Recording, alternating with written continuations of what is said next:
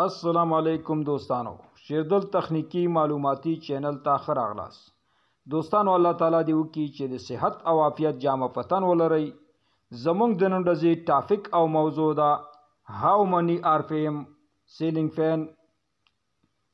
زموږ موضوع او ټاپک دا دی چې چتی پکې چې دي دوستانو هغه د دې آر پی ایم چې دی هغه څومره دی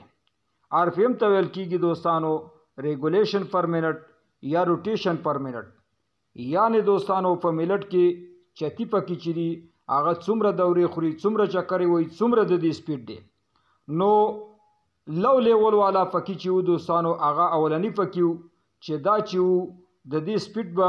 چې و دوستانو هغه د درې نیم سوه آر پی ایم پورې و یعنې په ملټ کې به هغه درې نیم سوه چکرې هغه دورې وهلې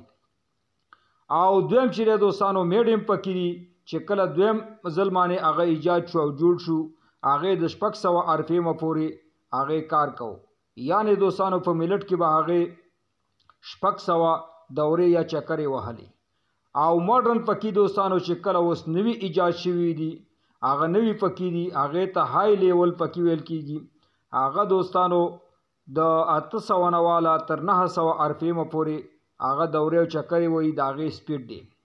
نو په دې طریقه باندې دوستانو تاسو کولای شئ چې د پکي د سپیټونو نه ځانونه خبر کړئ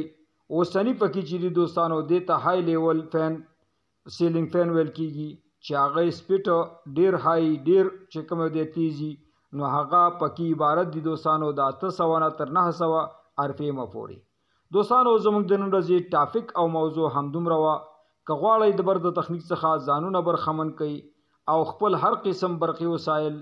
پخپله په خپلو کورونو کې جوړ کړئ نو زما چینل د سره سبسکرایب کړئ او دا ویډیو د سره لایک کړئ د توجه نه مو یو جهان مننه سلام علیکم.